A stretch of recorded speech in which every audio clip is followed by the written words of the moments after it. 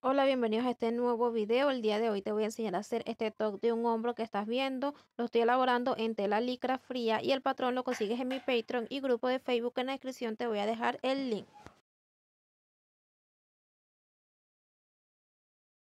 Aquí tengo mi pieza delantera y mi pieza de la espalda y lo que voy a hacer es el dobladillo en la parte de arriba que sería la parte del cuello y va a ser un dobladillo de un centímetro.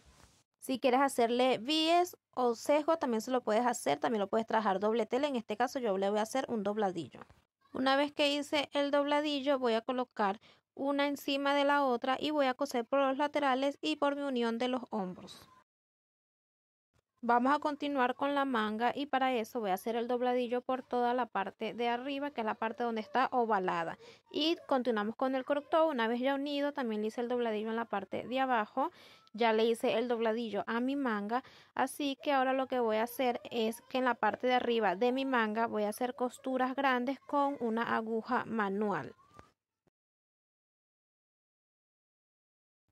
Y una vez que hice estas costuras grandes, lo que voy a hacer es que voy a jalar mi hilo y así voy a fruncir mi manga.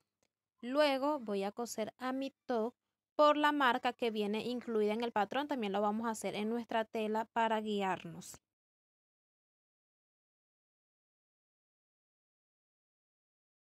Esta manga es tanto para sisa delantera como para sisa espalda, así que comenzamos en la marca de mi sisa delantera y terminamos en la marca de mi sisa espalda.